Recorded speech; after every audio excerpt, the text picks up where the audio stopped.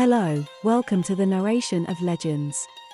In this channel, I narrate old legendary stories based on the books of old Iranian writers and poets. In addition, I photo montage related images. I started with interesting stories from the Shahnameh book.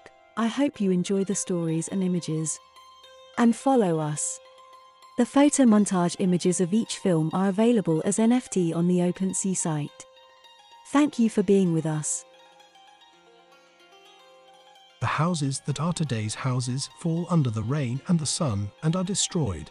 But the storm and the rain will never destroy the palace that I have built with my poetry. Ferdowsi. Ferdowsi, Abul Qasim Mansur, born around 935, around 2s, died around 1020, 2s, Iranian poet.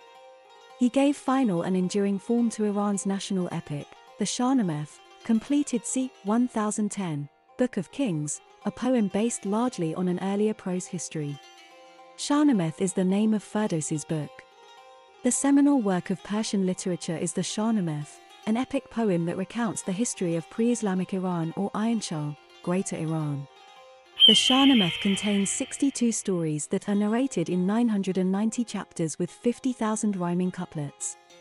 Shahnameh, which literally means the Book of Kings, is taken from the mythological and historical period of 50 Iranian kings. The epic can be divided into three parts. The first part tells about the mythical creation of Iran and its oldest mythical past. This part opens with cosmology and the creation of the world from nothing and includes these parts. Jamshid who reigned for 700 years. The kingdom of Zahak, the evil serpent king who is finally killed by the blacksmith.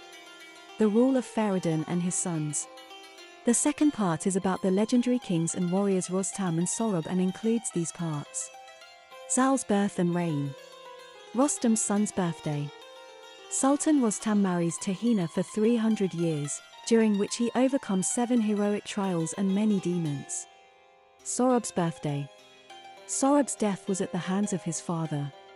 The third part mixes historical fact with legend and tells about the semi-mythical adventures of real historical kings and includes these parts, reign and adventures including Kay Khosrow, Siavosh, Gestas Besfandia, Dariush, Iskandar and Bahram Gur.